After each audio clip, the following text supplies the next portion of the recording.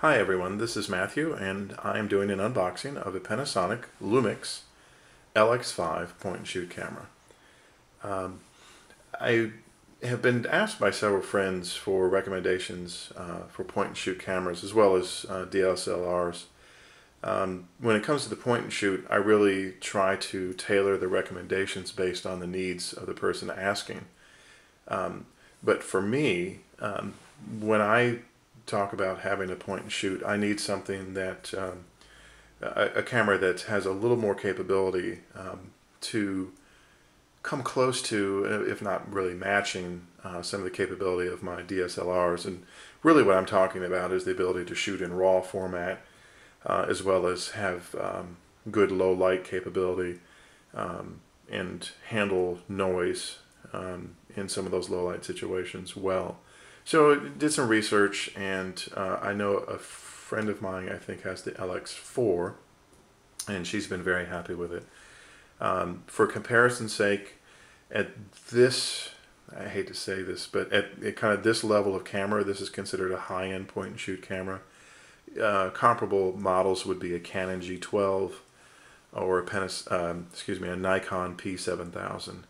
Um, all of, of these cameras retail for about $500. However, um, you, know, you can find most of these cameras either in your local camera shop, Best Buy, or um, online through uh, B&H Photo, uh, Crutchfield, uh, Adorama, uh, and of course Amazon. And in fact, speaking of Amazon, um, I saw this camera just the other day uh, an email popped up from uh, one of my favorite websites, TheVerge.com, uh, and it highlighted the fact that this was on sale for $269. So I really couldn't pass that up. Uh, today is Saturday, December 10th, 2011, and Amazon has the price now at $348. So you're still saving $150 off full retail price. Um, if you look around, you might be able to catch um, a new, not refurbished uh, LX5 or uh, one of the other models for uh, a good price. But I really jumped on that 269 and I'm pretty happy about it. So let's let's get into the box um, as your standard uh, information on the top, which tries to highlight some of the most important things, but uh, I'll talk about them inside. So uh, let's get in. Uh, here you have uh, Panasonic Lumix Photo Fun Studio 5.0 HD Edition. Uh, I haven't really looked at Panasonic's software because it's the first Panasonic Lumix camera I've had, but I have my own editing software. Um, I may look at it for the video piece because I don't really do a lot with video, but uh, I'm thinking about doing more.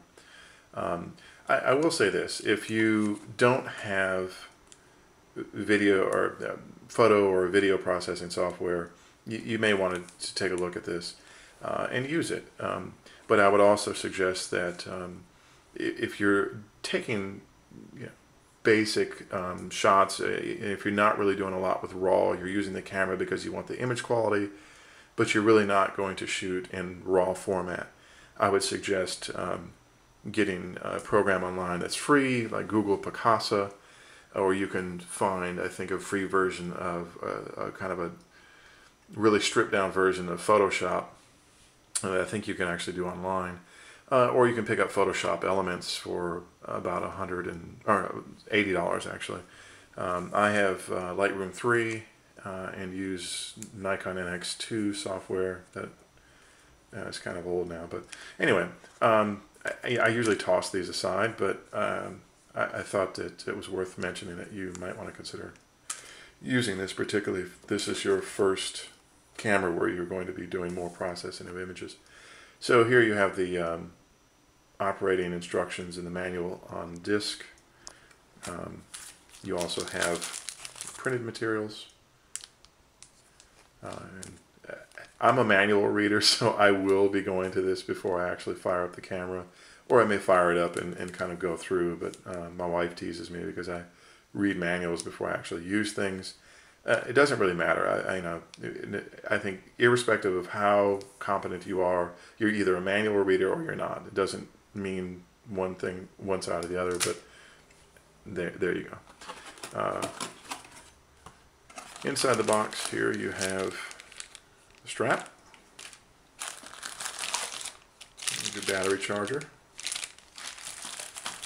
Obviously that means you have a battery, lithium ion battery, battery case. Now you may ask why you need a case or why you have a case for the battery um, presumably because it would be in the camera. Um, one, because you, you just may store it and you want to make sure you keep track of the battery. But I'll just use this as an opportunity to suggest that you may want to go online and look for a second battery. Um, particularly if you use this camera for travel. Uh, and really that's any camera, whether you use a, a, DSLR or a point and shoot. It's always good to have backup batteries. Uh, there's nothing worse than being out taking some pictures um, either on a shoot or if you're just traveling and the battery dies. Um, and with these cameras now, the point and shoots, uh, a lot of people use a mix of video and uh, the uh, images. So if you're using video, um, you'd be surprised how quickly that can wear down your battery. It's good to have a second battery and keep this close, uh, filled with a second battery, charged, of course. Um, all right. So also here we have cables. We have a micro, you can see that, a micro USB to USB and a micro USB to standard AV outs. Um, you'll notice a, um, you'll notice here that there's no red input, which should clearly tell you that this records in mono, not stereo. So you have your video and your audio out. Um, not that big of a deal for me, and I can't tell you whether the other models have stereo recording or not. However, if stereo recording is important to you, um, clearly this is not probably the, the, the camera for you. Uh, for me right now, uh, that's just not that big of a deal. So let's get this out of the way. Nothing else in the box. Here is the camera itself. Um, and so here we are. This is the Lumix LX5. Now, I don't have incredibly big hands, but I mean, big enough, I guess. Um, but I mean, here you are. This is palm of my hand. Um, trying to look around for something comparable.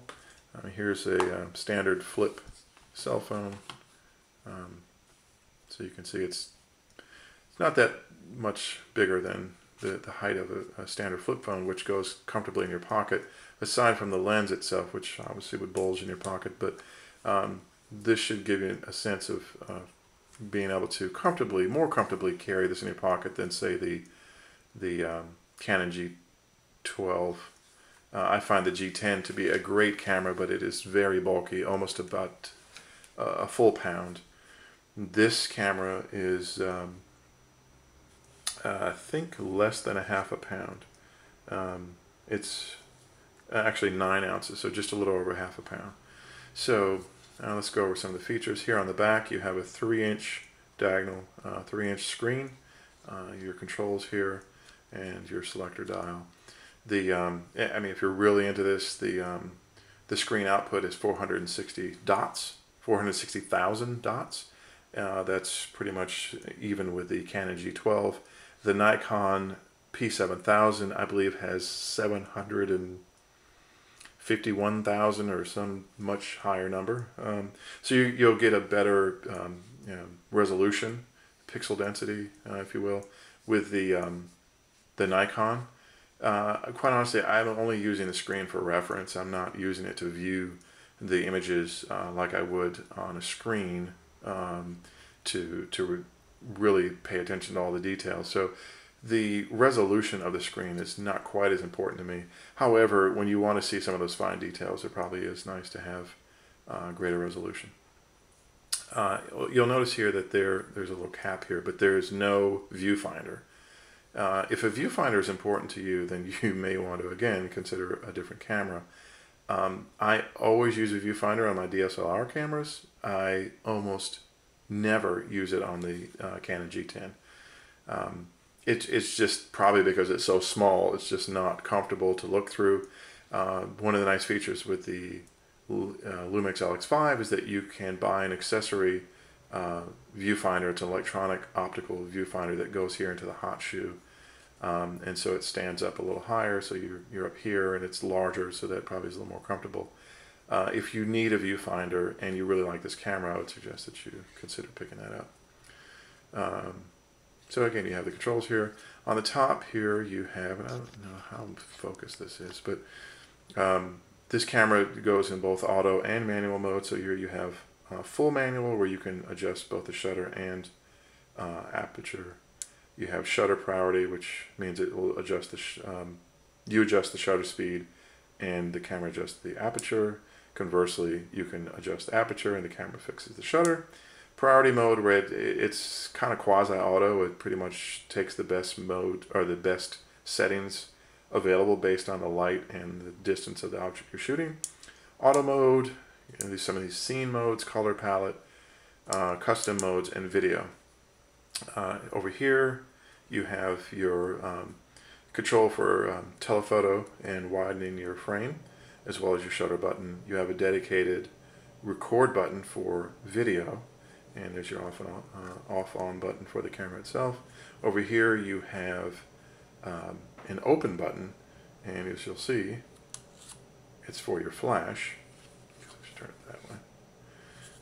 Um, I tried out a couple Canon point and shoots a few years ago, and one of the things that really annoyed me was that the uh, the flash would always stay up, and there was no way to put it down and make it stay down. So I appreciate that this one has a dedicated control. Um, here, uh, you have your aspect ratio. Normally when you're shooting um, with the camera for film or for images, you're going to shoot one to one.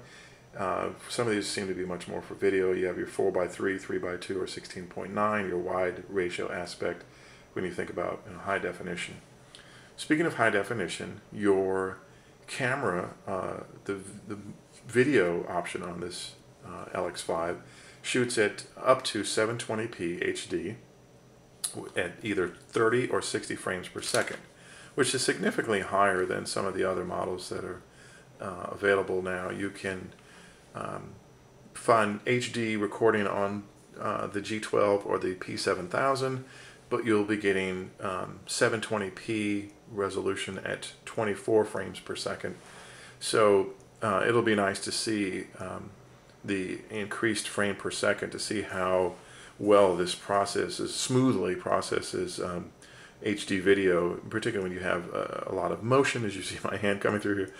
When you have that motion, the, the increased frames per second should, um, should come in handy.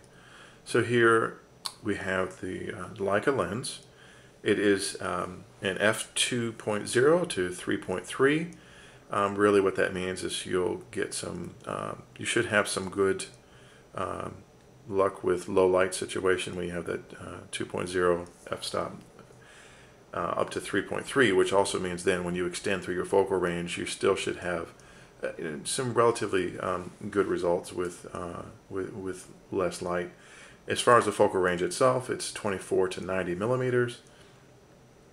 If you're looking for a point and shoot that has uh, greater um, focal length then you probably it, at this level of camera again the high-end point and shoot you'd want to move over to the G12 or the P7000 which has I think the largest um, uh, zoom capability of these. But again these cameras I hate to keep using this term high-end but that's just how they're they're classified. The high-end uh, cameras really are not um, made for a lot of uh, extensive zoom. The, the super zooms. If you want a lot of zoom capability or much more of an all-in-one camera as opposed to a very specific use for this for uh, quality images. Um, you can still get very good images from some super zoom cameras from any of these uh, manufacturers, Canon, Nikon, um, Panasonic Lumix, uh, Samsung also makes some good super zooms. Um, just uh, some technical um, things as well with the shooting modes. Um, you have the flash that I mentioned, you have a flash range of 7.2 meters or roughly 20, 20 a little over 21 feet. Um, again, point and shoot cameras, the, the flash is, it, it might as well be an explosion because they're usually just too bright when they're up close and they're too dim when they're too far. So um, take that for what it, it is. You can adjust um, the the expose or the the flash compensation in the menus. Uh, in terms of your shutter settings, you have a maximum shutter uh, length of 60 seconds, so you can hold the shutter open for a minute to take some nice um, long exposure shots, uh, particularly nice at night and things like that. Um, and then also you can go all the way up to one four thousandths of a second, which is nice. You can really work on capturing um, some high speed images there. The macro mode on the camera takes you down to a minimum focal range, uh, uh, distance, excuse me, of one centimeter, which is nice. I do a lot of um, macro shooting, so the ability to get really close um, is helpful.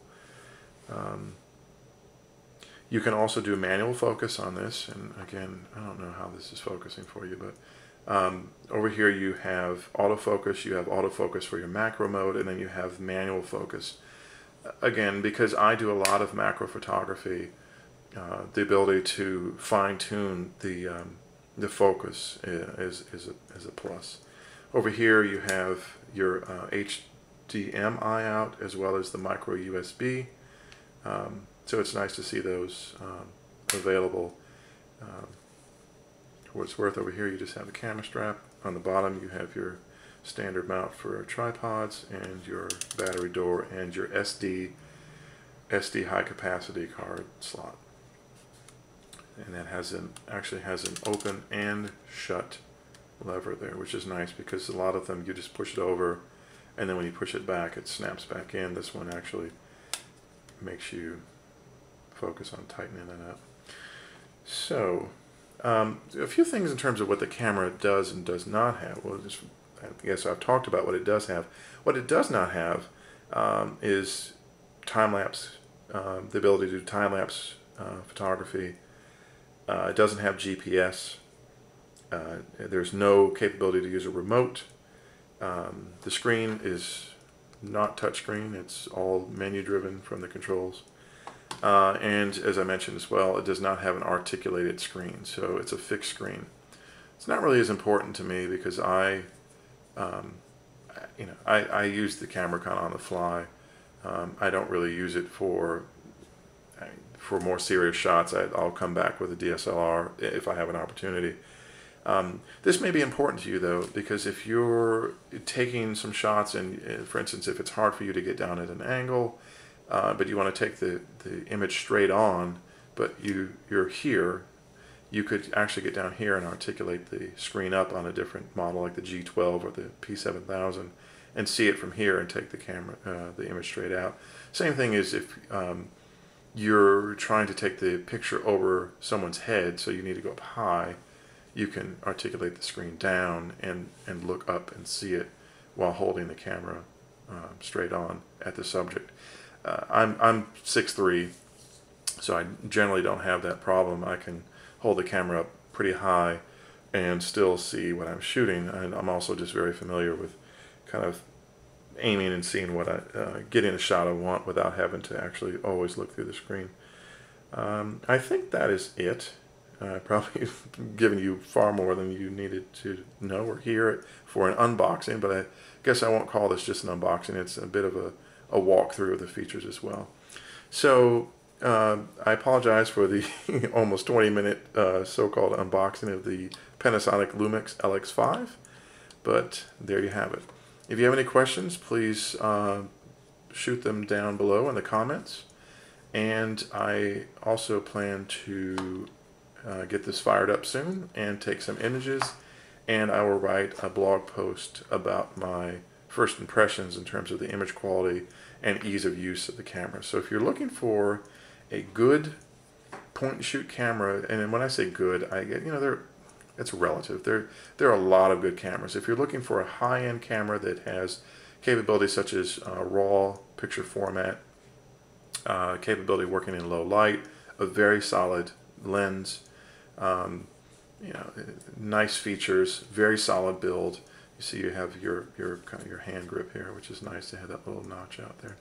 Um, then I would definitely uh, suggest you consider the Panasonic Lumix LX5, but don't rule out the um, Nikon P7000 or Canon G12. All will really, I think, do a, a very good job for you. Uh, and some of it just comes down to personal, personal preference. So, hope you enjoyed it. Uh, thanks for watching, and stay tuned.